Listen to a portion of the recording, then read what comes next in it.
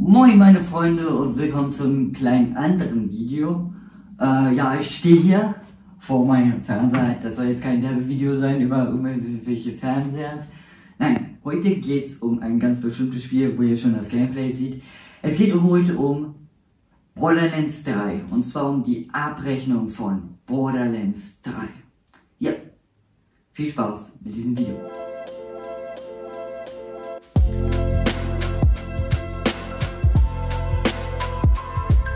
Also, ich muss davor sagen, es tut mir leid an alle, die dieses Spiel vielleicht richtig toll mochten und so, aber das wird ein 100% Kritikvideo, also ich werde komplett auf Kritik gehen.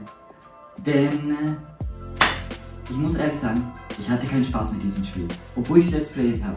Ich habe es nicht komplett Let's Played, ihr habt schon gesehen, ich habe das abgebrochen. Und in den letzten Folgen hatte ich auch irgendwie gar keinen Bock mehr. Also das wurde immer schlimmer. Also ich ja irgendwie kann ich es verstehen wegen, ähm, ja, mach mal was, damit du was zum Spielen hast. Aber warum mit so, solchen Vollidioten? Also jeder in diesem verdammten Spiel ist ein Vollidiot. Kommt mir so vor. Ich kann mich nicht mehr ernst nehmen. Warum spiele ich das, Alter? Wieso sind alle so verrückt und wieso sterbe ich wieder? Und wir sollten darüber mal reden, bevor hier noch irgendwelche Kandidaten ankommen und sagen, no, kommt denn das Video, wann kommt denn das? Ja, deswegen reden wir lieber darüber und ähm, fangen wir direkt mal an. Und zwar mit äh, den größten Kritikpunkt, glaube ich, lieber, damit wir auch schon mal hinter uns haben. Und zwar ganz, ganz einfach um die Charaktere und um die Story. Hm, was meine ich jetzt um die Charaktere? Naja, ganz einfach gesagt. Im äh, Laufe des Spiels bekommst du ja immer mehr Charaktere, so Claptrap, ähm, Leia oder wie die, Layla oder wie die heißt da, Firefly, keine Ahnung. Auf jeden Fall kriegst du immer mehr Charaktere. Ich habe schon wieder alle Namen vergessen, weil es mir eigentlich auch egal war. Ich muss ja jetzt schon 100 Let's Plays machen, da vergesse ich jeden Namen. Und wisst ihr, was an diesen Charakteren das Schlimmste ist? Nicht mal ihr Ziel oder was sie da genau machen oder ganz, es ist egal, was sie machen, sondern was sie da labern. Ja, denn die labern so ein wirrer Scheiß, wo ich mir jedes Mal dachte, bei jeder Folge, was ist das? Ich habe übrigens das Spiel schon mal komplett durchgespielt, also die ganze Story. Deswegen äh, sagt jetzt nicht, äh, du kannst doch kein Kritikvideo machen, wenn du es doch nicht mehr durchgespielt hast. Ich habe es schon mal komplett durchgespielt. Ich habe es zwar nicht aufgenommen, weil ich keinen Bock darauf hatte. Auf jeden Fall sind die Bösewichte und generell alles ziemlich dumm gemacht.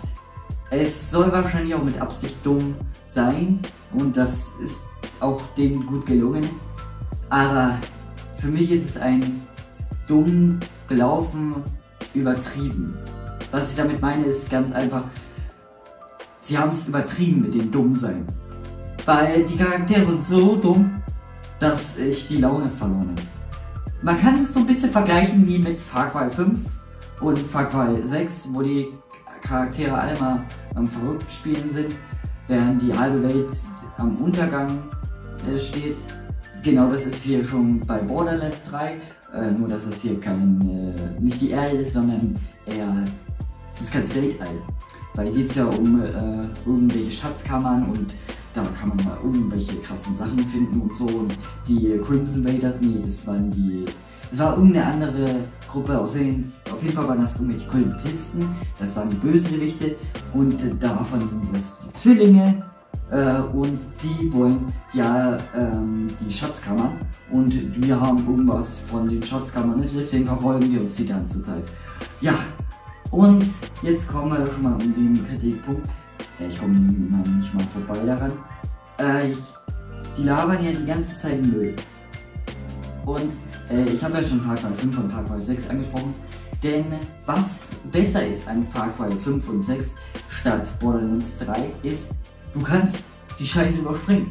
Du kannst nach dem Prolog, kannst du einfach machen, was du willst. Du kannst Du musst nicht mal irgendwelche Nebenmissionen machen. Und wenn du mal eine Nebenmission machst, machen möchtest, dann kannst du es einfach ignorieren. So. Und Du kannst ganz entspannt die Welt genießen und alles ist schön. Du musst nicht diesen Scheiß da spielen. Aber bei Borderlands ist es so, nicht mal wenn du die Story spielen möchtest, geht dir das Spiel die ganze Zeit auf den Sack. Wirklich. Bei jedem Kampf schreit dir irgendein Gegner, die Prinzessin Mädels, die beschützen uns und oh nein, die Zwillinge, sie wollen nur meine Mutter haben, was weiß ich.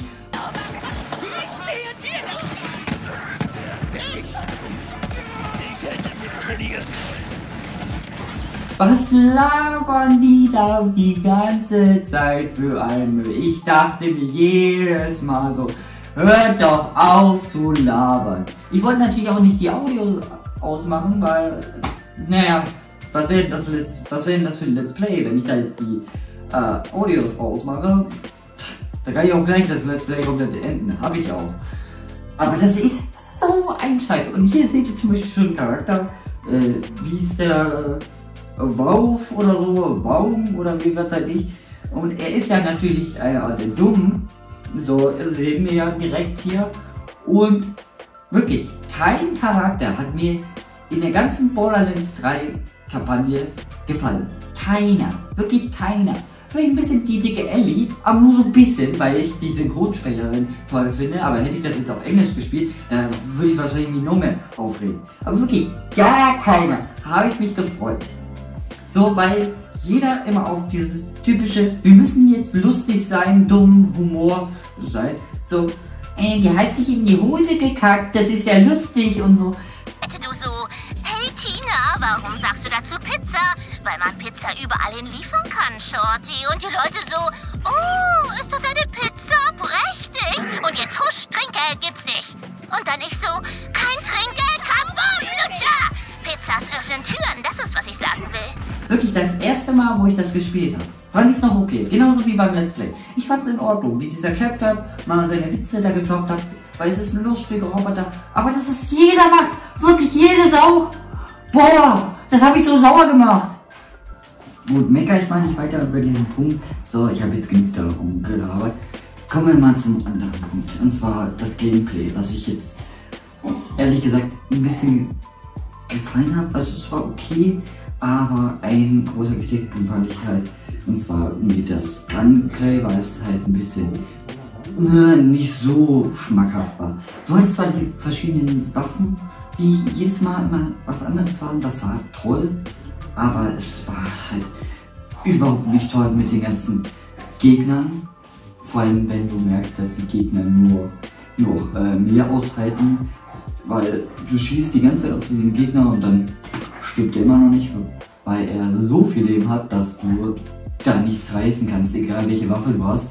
Und das hat mich schon ein bisschen aufgeregt. Und dann kommt da auch noch eine ganze Gegnermasse, wo du ganz, die ganze Zeit nicht klarkommst. Genauso wie das Sterbesystem, was bei Borderlands 3 natürlich besonders ist, was ähm, mir überhaupt nicht gefallen hat.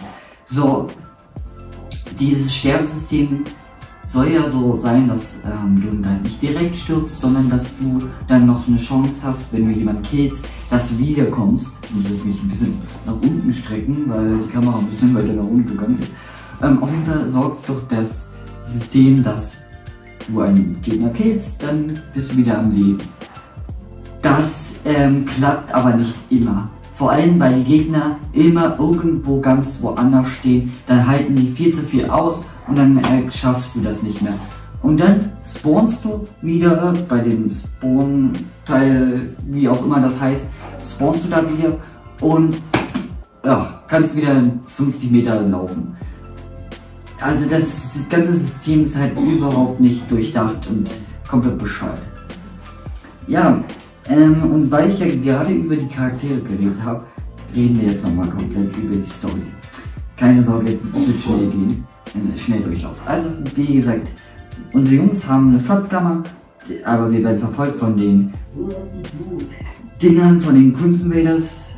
So heißen die, glaube ich. weiß nicht. Auf jeden Fall sind da zwei Zwillinge, die uns verfolgen. Und die wollen Stress natürlich. Und die funken eigentlich die ganze Zeit an. Und äh, erst haben, reparieren wir unser Schiff, dann äh, machen wir irgendwas auf einem anderen Planeten, dann haben wir eine Schatzkammer gefunden, dann äh, versuchen wir die nächsten Schatzkammern zu finden, bis dann äh, die Zwillinge alle uns klauen und dann im Endkampf auf äh, den ersten Planeten, wo wir wieder waren. Und der Endkampf ist dann halt gegen einen Zwilling. Das ist der Bruder. Ja, ich keine Ahnung, wie er, wie er heißt. Diese Namen sind übrigens komplett bescheuert. Ich habe bei jedem Namen mir immer gedacht, hä, den vergisst du doch wieder nach die nächste Folge. Also bringt das doch gar nichts. Auf jeden Fall, wenn du das hast, ist es noch nicht vorbei. Ne? Da kommt noch ein äh, weiterer Planet, wo du dann wieder 50 Sachen finden musst, damit du die Apokalypse stoppen kannst. Und dann musst du noch die Schwester killen, die sich in irgendeinen Mutanten verwandelt. Also ihr merkt schon, die ganze Story ist komplett verwirrt und bescheuert. Also die ist mir jetzt auch nicht so gut gelungen. Dann war ja noch so ein kleiner Epilog, da waren wir letztes Mal bei der Villa von Jacob. Die fand ich geil, die fand ich wirklich nice. Also das äh, war das Einzige, was ich an der Story noch okay fand. Aber alles andere war scheiße.